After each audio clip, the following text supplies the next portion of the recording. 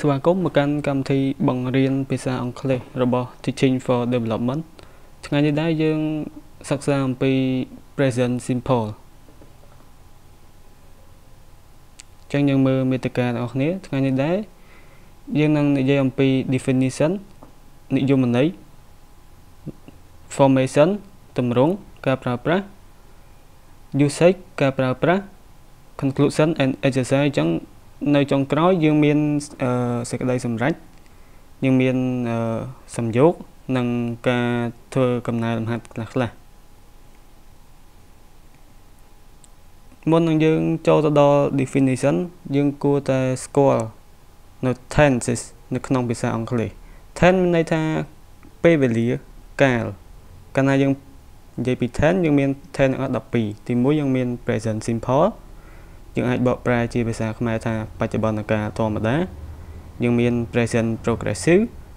យើងមាន present perfect យើងមាន present perfect progressive យើងមាន past simple យើងមាន past progressive past perfect past perfect progressive future perfect សំទោស future simple future progressive future perfect និង future perfect progressive ថ្ងៃនេះយើងនឹងសិក្សាលម្អិតពី present simple អញ្ចឹងយើងមើលមកយមន័យគេថា present simple indicates a typical action repeated action that's and thing that is generally true អញ្ចឹងគេថា present simple បង្ហាញអំពីសកម្មភាពជាក់លាក់ឬក៏សកម្មភាពទៀងទាត់ណាមួយនិងវត្ថុណា ដែលពិតជាទូទៅអញ្ចឹងបានន័យថាម៉េចឧទាហរណ៍អង្គរវត្ត is in Cambodia អញ្ចឹងគេថាអង្គរវត្តនៅក្នុងប្រទេសកម្ពុជាអញ្ចឹងពិតឬអត់ពិតអង្គរវត្តពិតជានៅក្នុងប្រទេសកម្ពុជាមែនអញ្ចឹងខ្ញុំថា I live in ភ្នំពេញអញ្ចឹងខ្ញុំរស់នៅនៅក្នុងទីក្រុងភ្នំពេញបច្ចុប្បន្ននេះខ្ញុំកំពុងរស់នៅនៅក្នុងទីក្រុងភ្នំពេញអញ្ចឹងពិតហើយខ្ញុំរស់នៅរហូត មានន័យថា repeated action typical action សកម្មភាពទៀងទាត់អញ្ចឹង present simple យើងបង្ហាញអំពីសកម្មភាពណា ដែលកើតឡើងជាប្រចាំនិងពិតជាទូទៅពិតបាទអញ្ចឹងយើងមើលមកកាន់ការប្រើប្រាស់របស់ present simple វិញគេប្រើប្រាស់ទៅលើអីខ្លះទី1 permanent truth អញ្ចឹងមានន័យថាការពិតហើយអចិន្ត្រៃយ៍ទៀត ចឹងអ្វីមួយហ្នឹងវាពិតហើយវាអចិន្ត្រៃយ៍មានថាវាមានជានិច្ចចឹង we use present simple for statement that are always true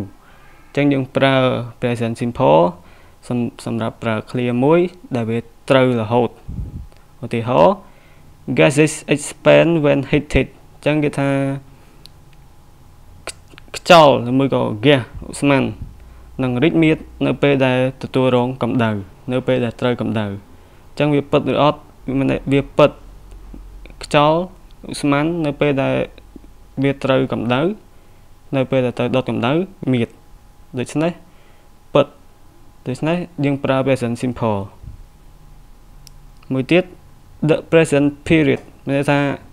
អំឡុងពេលដែលនៅក្នុងបច្ចុប្បន្នកាល ឬក៏យើងអាចនិយាយថាបច្ចុប្បន្នភាពអញ្ចឹង we use the present simple to refer to events actions or situations which are true in the present period of time which for all we know may continue indefinitely what we are saying in effect is this is the situation as it stands at present ចឹងគេថាយើងប្រើ present simple ដើម្បី សំដៅទៅលើព្រឹត្តិការណ៍មួយឬមួយក៏សកម្មភាពណាមួយឬក៏ស្ថានភាពណាមួយដែលវាត្រឹមត្រូវនៅក្នុងបច្ចុប្បន្នភាពនៅពេលដែលយើងវាអាចនឹងបន្តទៅមុខទៀតដោយយើងមិនដឹងគោលដៅរបស់វាអញ្ចឹងយើងនិយាយឲ្យខ្លីស្ដាប់ទៅគឺថាយើងយើងប្រើប្រាស់ present simple នៅក្នុងបច្ចុប្បន្នភាព ហើយវាពិតទៀតឧទាហរណ៍ my father works in NGO នេះជាការពិតអញ្ចឹងឪពុករបស់ខ្ញុំធ្វើការនៅក្នុង NGO non government organization អង្គការក្រៅរដ្ឋាភិបាលខ្ញុំទី2 I wear glasses ខ្ញុំពាក់វ៉ែនតា បច្ចុប្បន្ននេះខ្ញុំពាក់វ៉ែនតាហើយវាជាការពិតដូច្នេះយើងប្រើ present simple នៅក្នុង the present period ន័យថាបច្ចុប្បន្នភាព មួយទៀតគឺ habitual actions គឺសកម្មភាពដែលជាទម្លាប់អញ្ចឹងយើងក៏ប្រើ present simple ដែរគឺថា we use present simple to describe actions which are habit អញ្ចឹងកាលណាសកម្មភាពណាដែលវាចូលជាទម្លាប់យើងតែងតែអនុវត្តជាប្រចាំអញ្ចឹងយើងក៏ប្រើ present simple ដែរឧទាហរណ៍នេះ I get up at 7 am morning អញ្ចឹងណាខ្ញុំក្រោកនៅម៉ោង7អញ្ចឹងសកម្មភាពហ្នឹងគឺទៀងទាត់វាជាទម្លាប់របស់ខ្ញុំជាងចូលមកដល់ future reference ណាគឺតកតងនឹងអនាគតអញ្ចឹងយើងអាចប្រើ present simple អនាគតដែរអញ្ចឹងយើងមើល this use is often related to timetables and programs or to events in the calendar អញ្ចឹងគេថាគេប្រើគេច្រើនប្រើ ទៅទៅនឹងអីគេទៅនឹងអ្វីមួយដែលតកតងទៅនឹងកាលវិភាគឬមួយក៏កម្មវិធីអឺព្រឹត្តិការណ៍ណាមួយដែលនៅដែលតាក់ទងទៅនឹងកន្លងនិយាយឬក៏ប្រតិទិនណាគេថា train arrives at station 2 am 2 pm tomorrow អញ្ចឹងតែរថភ្លើងមកដល់នៅម៉ោង2នៅថ្ងៃស្អែកអញ្ចឹងគេប្រើ present simple ដែរដើម្បី អឺដើម្បីបង្ហាញសកម្មភាពណាមួយដែលគ្រោងទុកដែលនៅក្នុងប្រតិទិនអញ្ចឹងមួយទៀតវាមាន observation and declaration អញ្ចឹងយើងប្រើ present simple ដើម្បីបង្ហាញពីការគិតទុកឬមួយក៏ការសញ្ជឹងគិតឬមួយក៏ការប្រកាសណាមួយអញ្ចឹង we commonly use the simple present with stative and other verbs to make observations and declarations in the course of conversation អញ្ចឹង observation ណាយើងសញ្ជឹងគិតឬមួយយើងស្មាន declaration ការប្រកាសណាមួយចឹងឧទាហរណ៍ I assume something will be alright អញ្ចឹងវាជា stative verb ជាកិរិយាដែលអត់មានសកម្មភាពអញ្ចឹងខ្ញុំគិតថាអ្វីគ្រប់យ៉ាងនឹងល្អ I I I assume មួយទៀត I think you should contact daughter អញ្ចឹង នេះគឺតែជា observation និង declaration I think you should contact daughter អញ្ចឹងខ្ញុំគិតថាអ្នកគួរតែទំនាក់ទំនងទៅកាន់វិជ្ជបណ្ឌិតនេះក៏អាចប្រើជាមួយ present simple បានដែរអញ្ចឹងយើងមើលយើងចូលមក formation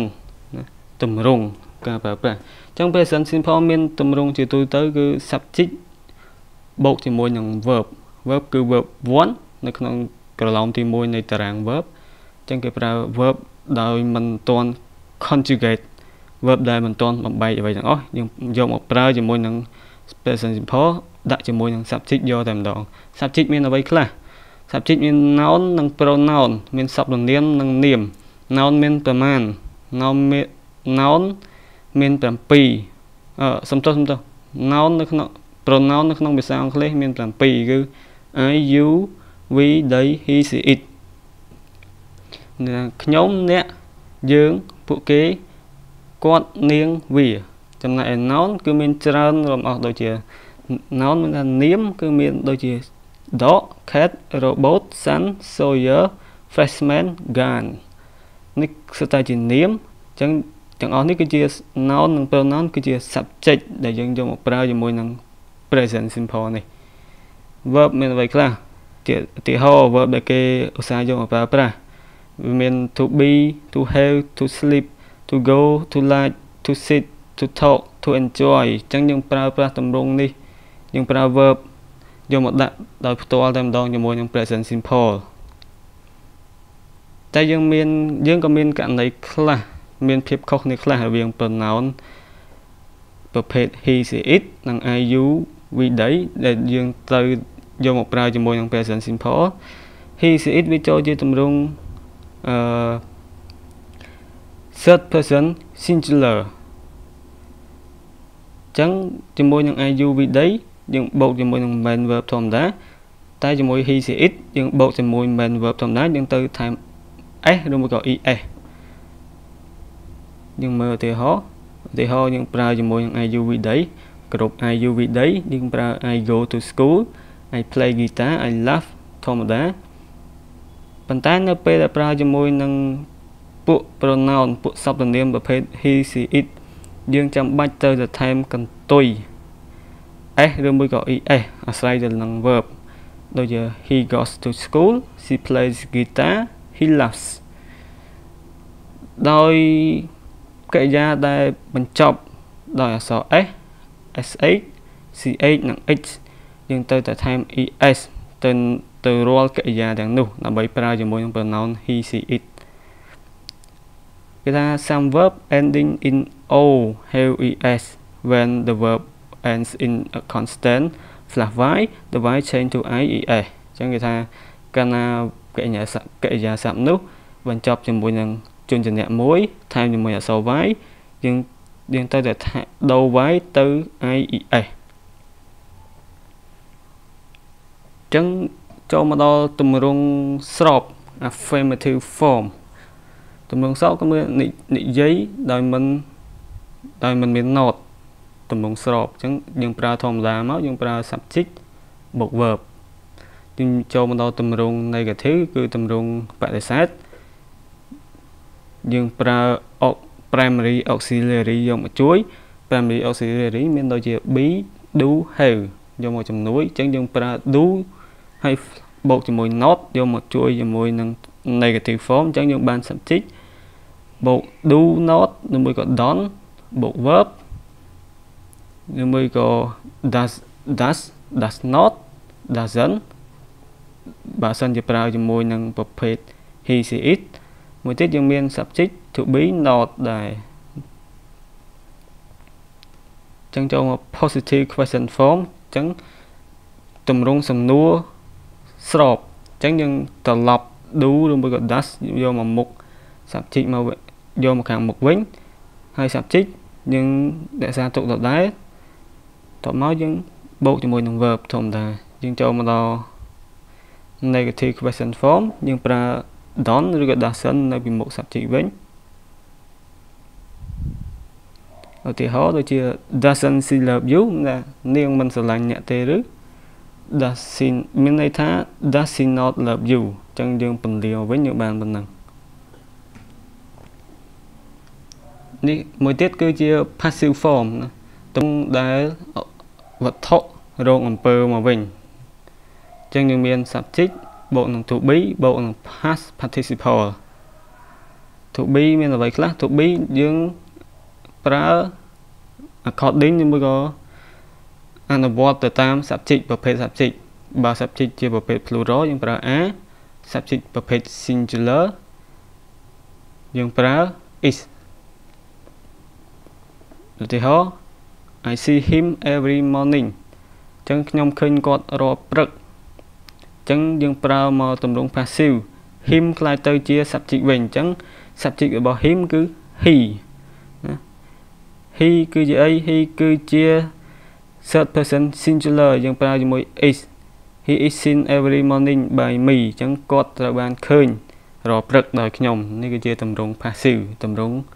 វត្ថុរងអំពើមកវិញចឹងមកដល់ conclusion និង exercises ចឹងសរុបមក present simple ទៅបានប្រើសម្រាប់សកម្មភាពណាដែលពិតនៅក្នុងបច្ចុប្បន្នកាល